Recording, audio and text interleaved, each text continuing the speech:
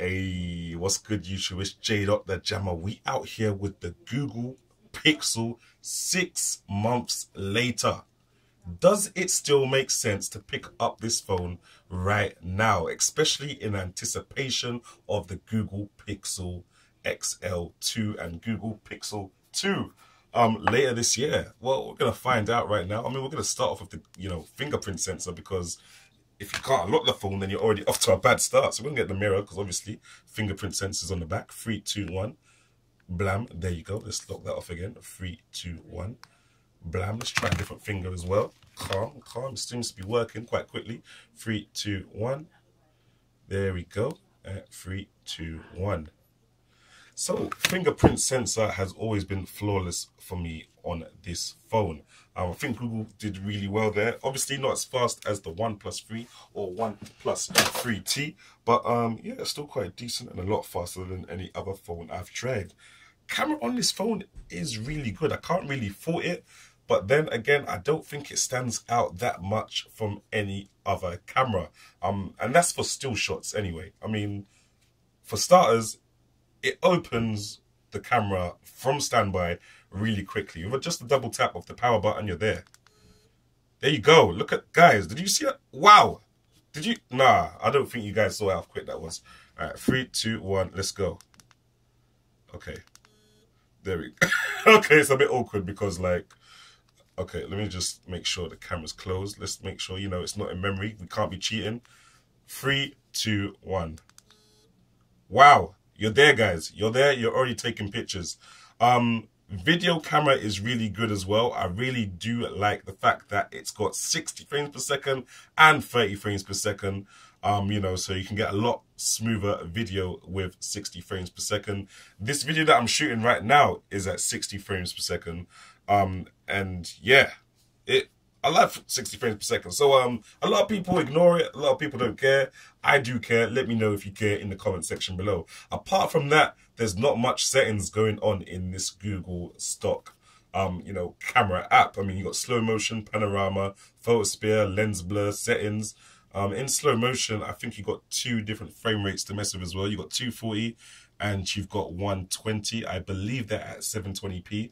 Um, so that's quite decent, but yeah, not that much you know, photo settings at the moment. Um, it can be a good thing and a bad thing. It's good as a point and shoot, obviously. If I see something going by, I just, you know, click into the camera and I take a quick picture of it, even from standby. Um, with a lot of other phones like LG, Samsung, Sony, there's a lot of other, you know, settings for the camera and you might not want to do that. You might just want to get in and take a picture. So the camera's all good for me. It's nice and simple and it's accessible. Um, performance, Obviously, as you can see, it launches the camera quickly. It unlocks quickly. I scroll through all my, you know, menus quickly. Um, I mean, let's go into Instagram. I mean, Instagram's working quite quickly there as well. See what I mean? I mean, oh, yo, follow me on Instagram if you're not already following me, guys. Um, but yeah, you know, Instagram's real quick. Twitter's real quick. I mean, I know these aren't that demanding apps, but they all work perfectly. And, you know, it's the fact that you can just multitask between them. There we go. And, you know, Twitter and Instagram right there. Um, let's let's pop open another few apps. Um, let me just try and pop open one that is not going to jeopardize my security. Um, let's go with Chrome. Um, oh, okay, now you can see what I'm buying. Everywhere is jeopardizing security. But um, yeah, you can do that and you can do a multitask by, I think you just, do you hold this? There we go. And then you can, you know, choose an app to multitask with. So you got Twitter going down there and you got, um, you know, you got your Internet Explorer going on up there. Um, this phone is too small to do that really, but you know, you can do it if you need to because you've got that processing power from that Snapdragon 821 and you got that four gigabytes. Um, yeah, apart from performance, design. Um, I I never really liked the design of the Pixel when I first saw it. This, I mean, it's different, but it doesn't really scream, you know, yo, this phone is Google Pixel. Sometimes I'm on the train and I'm like, yo, has that person got a Pixel? Have they just got a normal phone? It kind of blends in with each and every other phone out there. Um, the blue one does look very sexy. That would be the one I would really want to get, but I wasn't really trying to play full price on this phone in the first place. So, um, yeah, design is is mediocre. It's what you'd expect from a smartphone. But um, when you know guys like Samsung Galaxy 8 come out, um, it, it gets it's getting tense now. You know, there's a bit of bezel here. It's not a big bezel, but when there are phones without any bezel, yo, you you got to catch up. um, apart from that, signal's quite good, especially here in South London. Um, I don't even know if they give people South London signal, but, but yeah, the signal's quite decent. Bluetooth's cool. Um, Wi-Fi is cool. You know, I'm not getting any unexpected drops, even though my Wi-Fi is crap. Um, and obviously 3G, 4G is also cool as well, no matter what area I go into. Um, all over South London, and you know, especially when you're driving up the M1 in countryside road, keeps that GPS and 4G booming. Battery. Um, I'm not too sure, guys.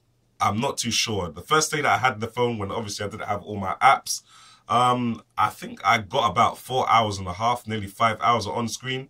Um, nowadays, I'm getting about four hours, maybe sometimes three hours 30, four hours, nah, four hours, I would say. Um, which is not bad. I suppose that's enough to get you through the full day if you don't use it heavily. But if you're using it heavily, have sync on all the time, um, you're taking pictures with that big camera as well, you're not going to get much battery life out of that. But yeah, apart from that, it is a really good phone. Um, you know, a really good camera, got flash and everything, obviously. Um, don't know why I mentioned that it's got flash, because every phone does, but, you know, there you go. Flash there. you got your quick settings there and everything. I like the Android 7.1 thing going on right here, right now. Um, and yeah, the performance is just decent. I mean, I might as well jump into a game. I've already been recording for seven minutes.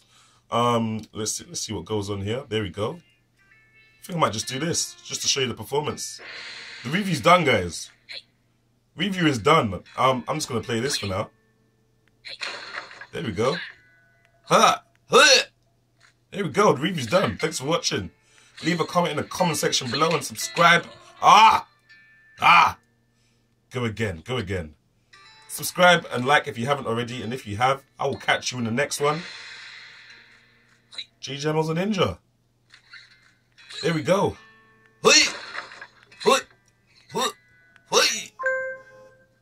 There we go. Oh my days. Okay, I don't like this game anymore. But yeah, um, thanks for watching. Um, I'll catch you next one. J Jamo out.